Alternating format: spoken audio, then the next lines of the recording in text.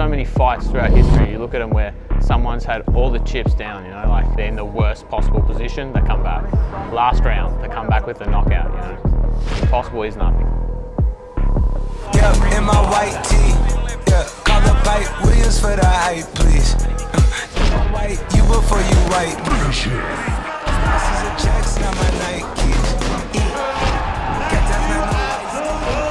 Adidas, it speaks for itself. Adidas is huge. You know, whether it's Adidas boxing or just the whole brand is massive. So it means a lot for me to be able to put on for them as well. Team Ellis does it well. Team Ellis is a big name in Australian boxing. Hopefully one day world boxing.